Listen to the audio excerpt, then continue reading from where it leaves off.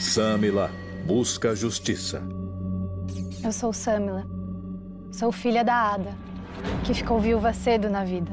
Por isso, servimos no tabernáculo, contamos com o apoio do sumo sacerdote e juiz Eli. Tememos muito a Deus. Mas, sinceramente, não tem sido fácil conviver com os filhos do juiz. Pois, pela posição renomada que têm, acham que podem tudo até cometer injustiças. Mas isso vai mudar. Em Reis.